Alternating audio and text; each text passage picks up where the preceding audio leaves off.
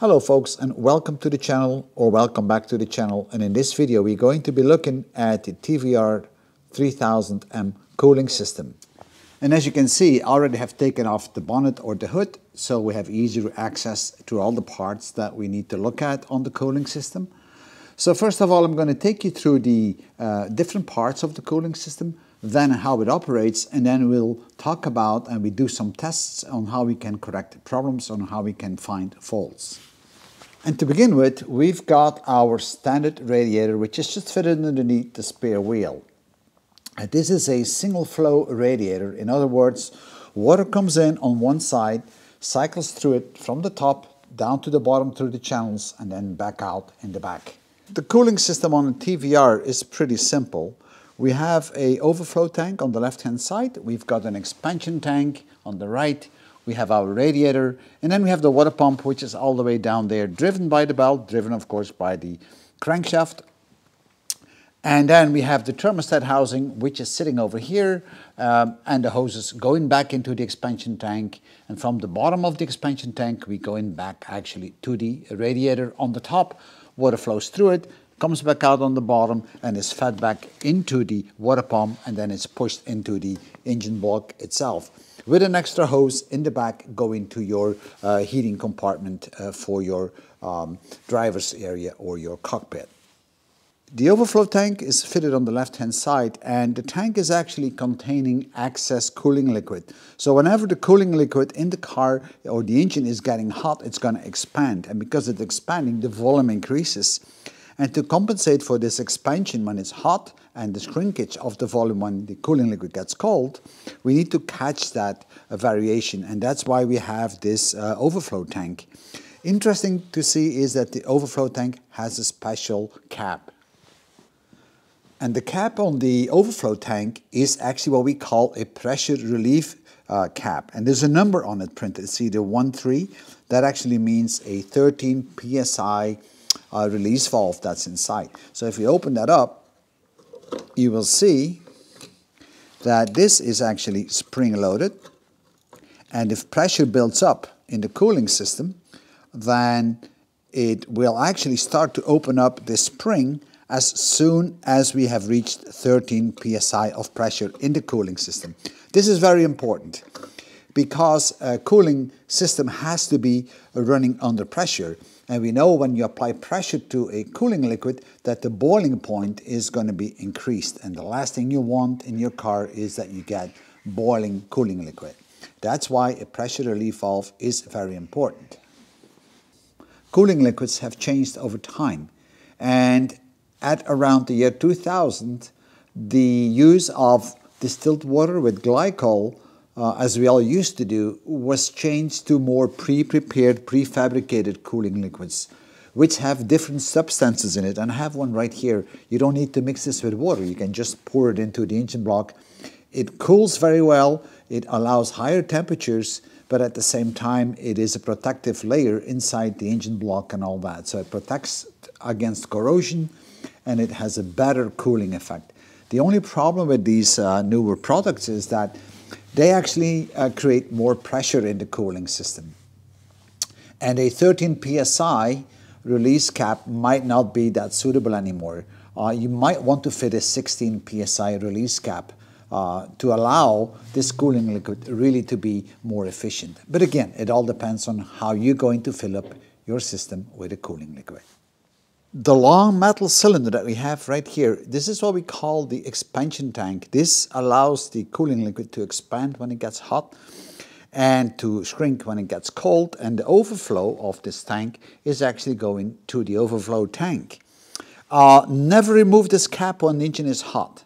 Now this cap is a non-vented cap.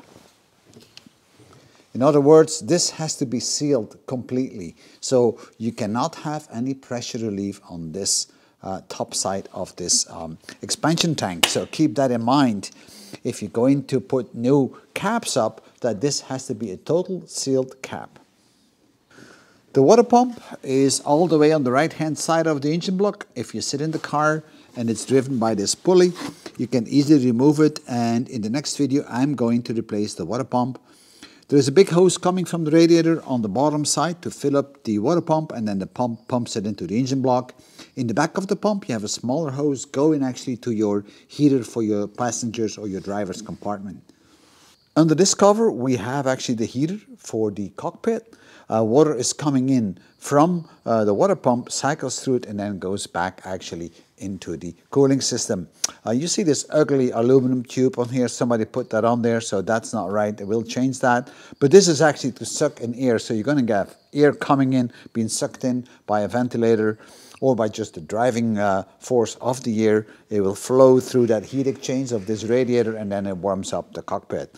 Nothing really special. Um, you got a little bleeding valve here, so you can actually bleed the system if you have to, especially if you're going to replace uh, the cooling liquid. On this car, I have a couple of fans sitting behind the radiator to provide extra cooling.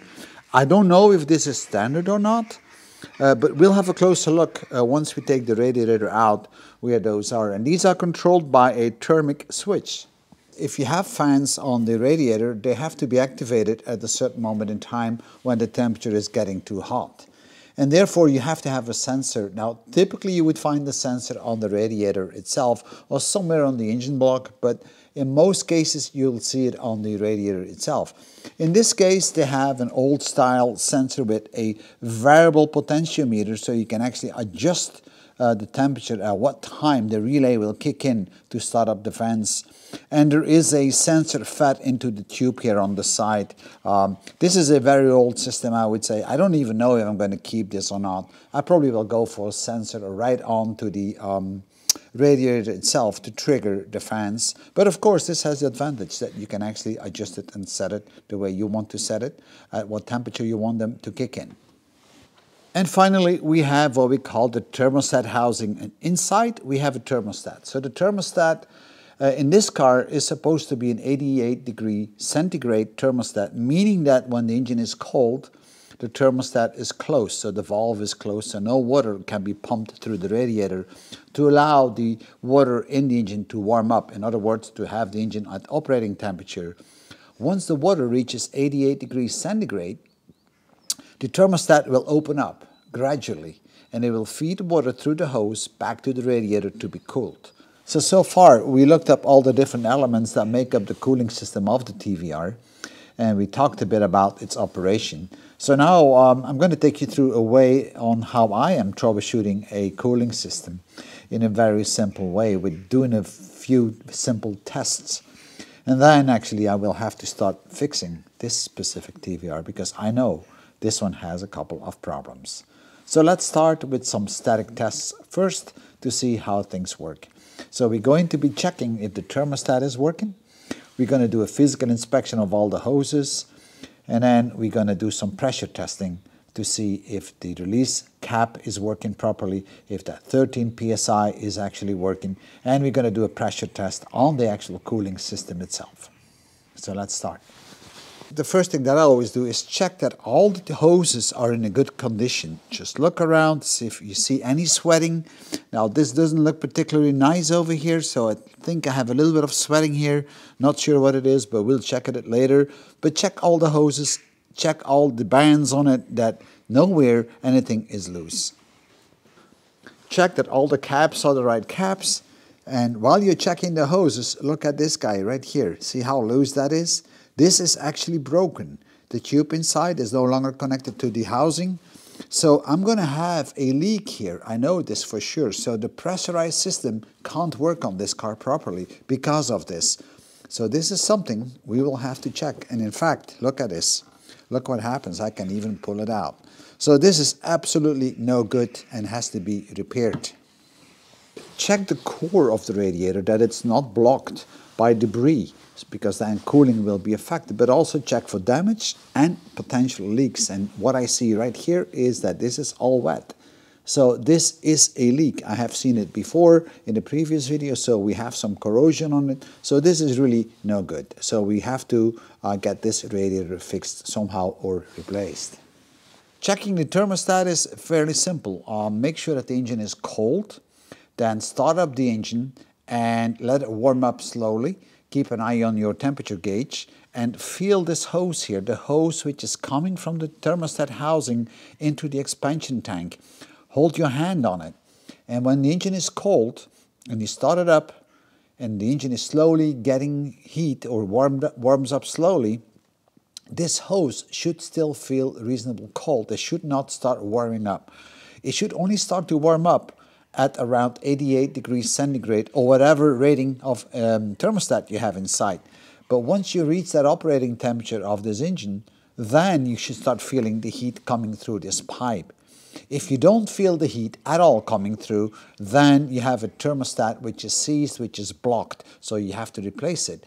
If uh, you get heat coming through from the start, so as soon as you start the engine and you feel this hose warming up at the same time with the engine uh, warming up, that means the thermostat is broken as well, or somebody has removed the thermostat. So both cases are no good, so you would have to replace the thermostat. So we went through the very basic testing and inspection of the cooling system. So the next step is to start measuring the pressure and measuring the release caps if they are working properly. It's pretty cold, it's about zero degrees centigrade and I have the door open so I had to put my gloves on. But nevertheless, uh, the first test we're going to do now is to check this cap. Remember the cap, the 13 psi relief cap that is on the overflow tank. And to do that, you're going to need a small tool, and you can get these tools very cheap on the internet. It comes in a big box, and I'll show it to you in a few minutes. But all what it is is a pressure pump and a dial or a gauge, and then an adapter. You can actually put your cap onto that, so it seals off like it's on the actual uh, overflow tank. And on the other side, uh, we'll put in a attachment so we can put pressure into this plastic adapter here. And let me just put that on and see. There we go. So now that I have put those two parts together, I can now pressurize this little black container and see at what pressure this valve or this uh, cap is releasing. It should be around 13 psi, right? Because that's what the writing says. If it doesn't do that, then the cap is no good. If it does it earlier or later, change the cap. So let me hook that up and try to keep it all in place. It might be a little bit tricky with the cold here. All right, so I'm going to pump now the pressure up, okay? It's going to take a bit of time. See, it's going up 5 psi. I just need to pump and pump. I got 10 psi. Now I'm at 13 and I keep pumping, right? And I can't go any further because it's releasing pressure. I can tell. See, it goes up to 14. So basically, the cap is holding pressure and it looking good. What we just saw was that the cap actually uh, allows pressure up to 13 psi and then it starts releasing it. So this cap is, is working. So I'm going to put it back on the overflow tank because we are done with this. This is a very interesting toolkit, um, which is very cheap as well, and it's very comprehensive. It's very complete. You got all kind of adapters in it that you can use to check out uh, your cooling system by putting pressure onto your engine and your cooling system itself. And we'll do that in a few seconds. It also comes with a pump, as you've seen, to check your uh, release cap, and it comes with a filling mechanism so you can actually fill up your system or your cooling system uh, with vacuum. So you suck vacuum first and then you're going to suck in the cooling liquid. I'm going to show you that later on when I'm refilling the car after we replace the radiator. Imagine that you haven't found any bad hoses or bad connectors or no leaks whatsoever, then uh, you could still have a leak somewhere internal into the engine. Maybe you have a little bit of white smoke, maybe you might not even notice it. But if you have to keep topping up your cooling liquid, then something is certainly wrong. And then it's good to do a pressure test. And to do a pressure test, you remove your pressure relief cap on the car and actually then you fit a, another cap onto it which allows you to put pressure into the system and that's the one and then I'm going to pump this up to about 13 14 psi and I will see if it's going to hold that pressure or not now in my case that ain't going to happen because this hose is broken so I'm going to lose pressure right away over here so first of all, I need to fix this tank to be able to show you this test. So let me do that first and then uh, we do the test. Well, this hose doesn't look too good either. It's cracked, so I might as well cut it off and then get it cleaned the other way around and then put a new hose up. There we go. I'm to try to fix this tube.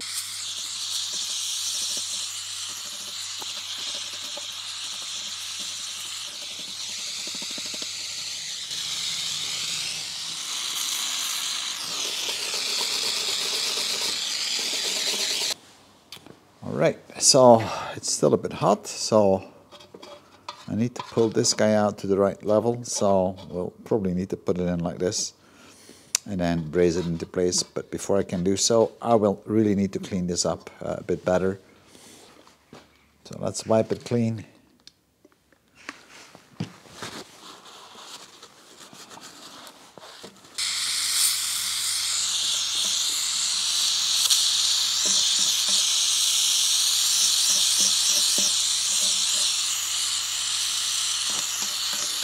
So I finished up hard soldering that tube back onto the reservoir. So now we can actually do a pressure test. So I'm going to connect one of these adapters to put pressure into the overflow reservoir and then we will pump it up and see what happens.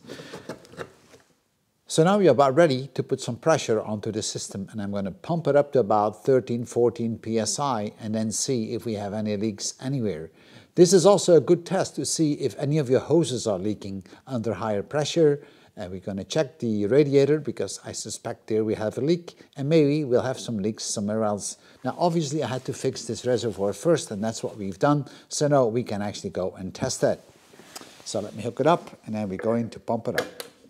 So I'm about ready to start pumping it up. It's going to take a little bit of time until we have the pressure because everything is empty. But we get there. You can see the needle going up 5 psi.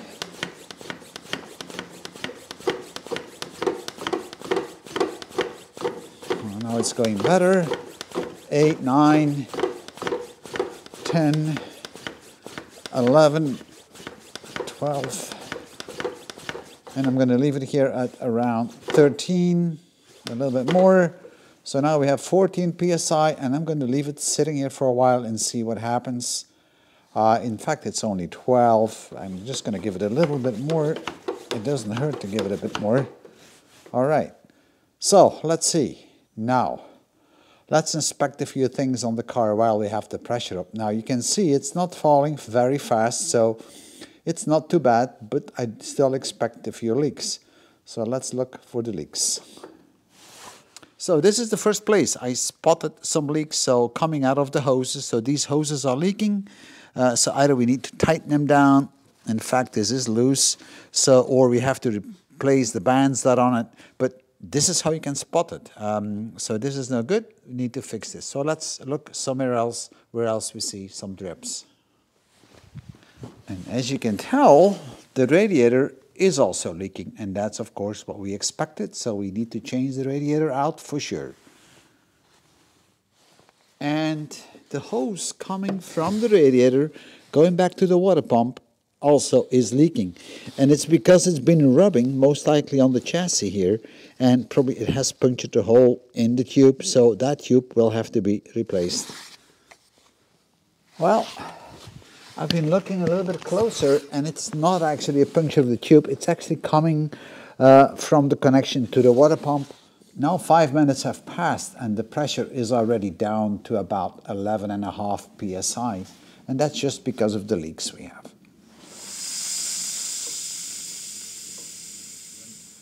With a pressure test you can detect far more problems than just doing a quick check while the engine is running at temperature. Um, we spotted that the leaks were actually on the radiator and we knew that already. But we also spotted a couple of other leaks and mainly around the bands that are holding the tubes onto the connection pieces. So all these bands I will replace and of course we'll double check the tubes where they are connected.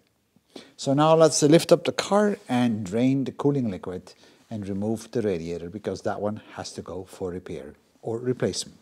All right, so we're going to drain the cooling system. I'm going to remove all the caps because that will make it easier.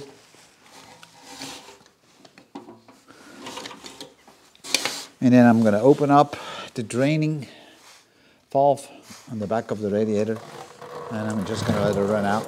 And while it's draining, have a look on the color of the cooling liquid. Now this looks pretty good, uh, but if it has a different color or it has a lot of pollution in it, then you have another problem. Uh, maybe you have an oil leak or something somewhere. So now it's time to uh, connect the main radiator hose on the bottom of the radiator. This is actually the feed into the water pump, so the cooled side. And I suspect we'll have a lot of water coming out of this pipe now. Uh,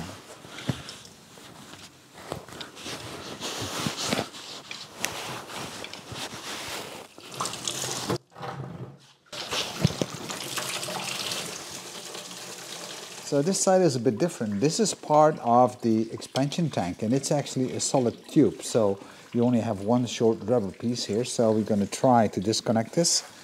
I'm not sure if how easy that will be uh, because I don't have a lot of play. So I might have to do it uh, while I'm pulling out the radiator. So let's do that and um, see how that goes. There's one bolt we need to undo here and then there's two split pins on the bottom of this radiator and then it should actually come out. All right, so let us undo that bolt on the top. That's a socket 11, or at least that's what I put on it.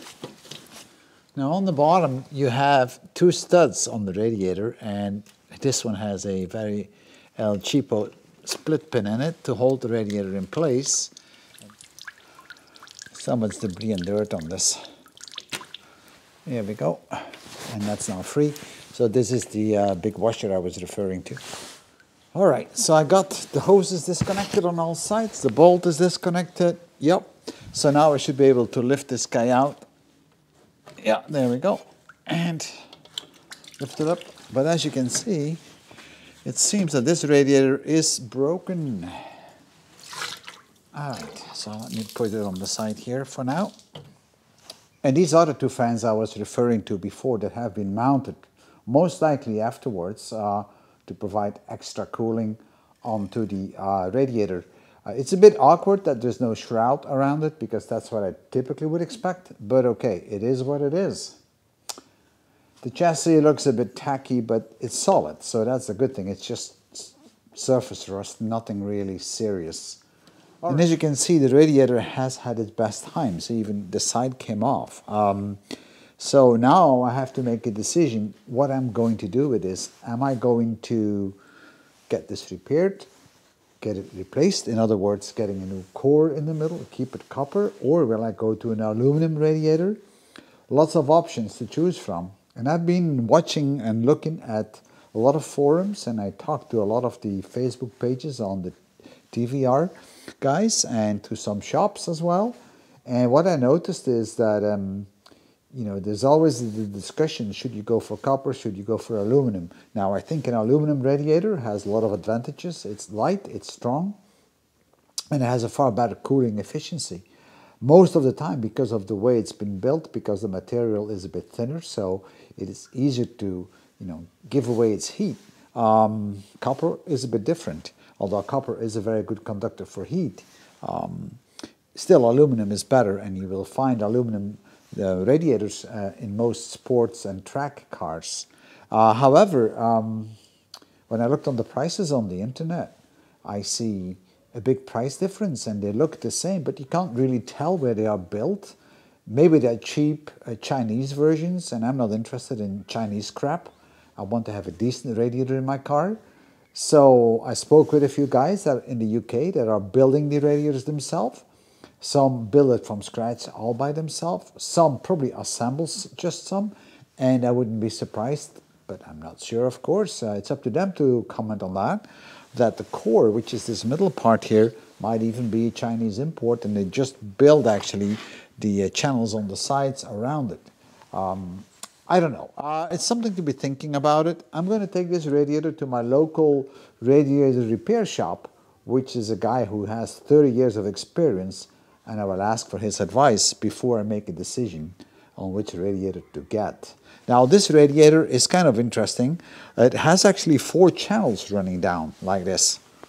Right? Small tubes that are going from the two, between the two sides. And these four channels that is not really optimum. It's quite different uh, on aluminum radiators. You will see far less channels. I actually have here a uh, Lotus Elise aluminum race radiator and there you only have one channel going from the left to the right. Uh, of course, there's multiple channels. I think this is an original TVR uh, radiator, and you can see that it has one, two, three, four channels. It may be a little bit hard to see for you, but if you look closely enough, you can see those four tubes.